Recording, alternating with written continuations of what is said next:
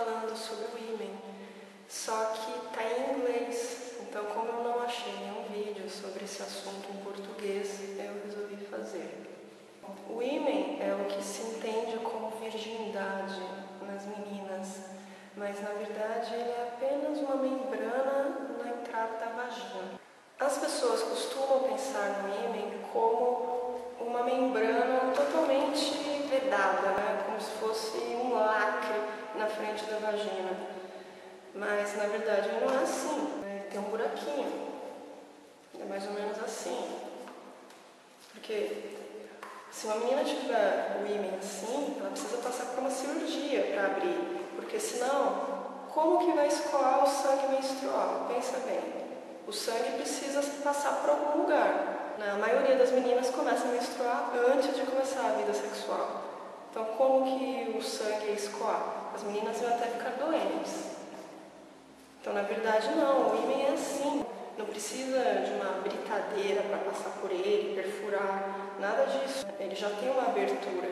Então, inclusive no momento da masturbação, a menina pode já começar a romper essa membrana, é, introduzindo os dedos na vagina, que é o ideal para que ela comece um, um processo de autoconhecimento.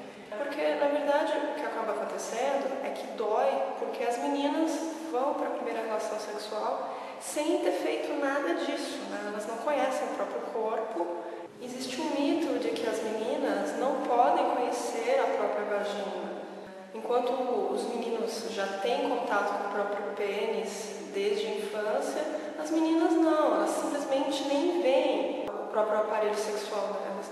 Então é importante sim que desde criança você use um espelho e abra as pernas e observe a sua vagina, a sua uretra, veja como são os seus órgãos, porque eles são seus. Eles não são do rapaz com quem você vai transar. Eles pertencem a você. Então é obrigação sua conhecê-los. Então a gente vive uma cultura na qual os homens conhecem mais vaginas homens consomem no mercado pornô fotos de mulheres com a perna aberta em filme pornô eles veem a penetração, então eles conhecem melhor uma vagina do que uma mulher. E na verdade isso está é, errado, você tem que conhecer o seu próprio corpo. Então quando chegar o momento da primeira vez, você não vai ficar assustada, porque aí você acha que uma pessoa está fazendo algo em você que você nem sabe o que é. E aí isso te deixa com medo, e aí você vai sentir dor porque vai ficar tensa. Se você já tiver todo esse trabalho antes né, de autoconhecimento, você não vai passar por isso. Então, por isso que eu recomendo, se masturbe no clitóris, sinta o, o prazer, aí com, com a sua própria secreção que vai sair da vagina, vai facilitar que você introduza, principalmente esse dedo aqui, é o mais fácil, né? esse aqui também, esses dois dedos e aí você vai começar esse processo de conhecer a sua vagina, perceber que não é algo assim diferente do outro mundo, é só uma parte do seu corpo que é interna e que no momento da relação sexual vai ser penetrada. E claro, quando você for fazer isso, esteja com as mãos limpas, lave os seus brinquedinhos, vibradores, dildos, etc. Sempre use aquele, aquele sabonete íntimo para fazer a higiene deles. E, se possível, use até preservativo quando você for usá-los, porque aí você fica protegida mesmo, né? você tem certeza que ele vai estar limpinho sempre.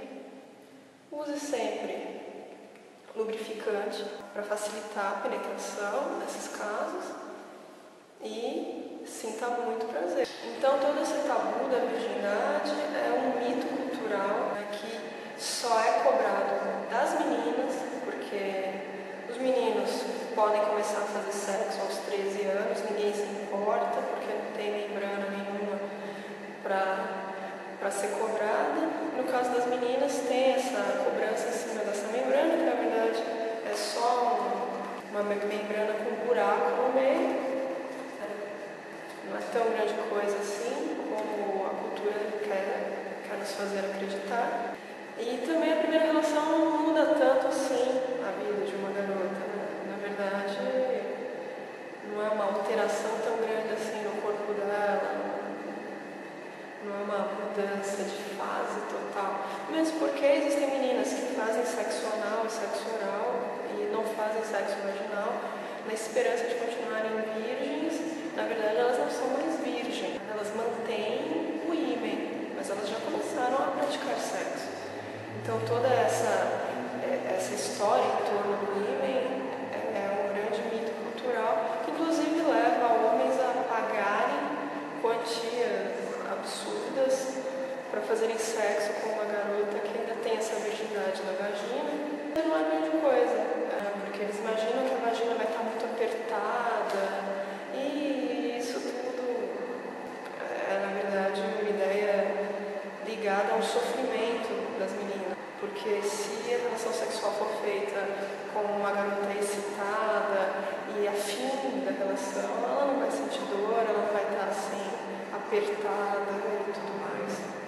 Então, lembrando, masturbe-se, sinta seu corpo,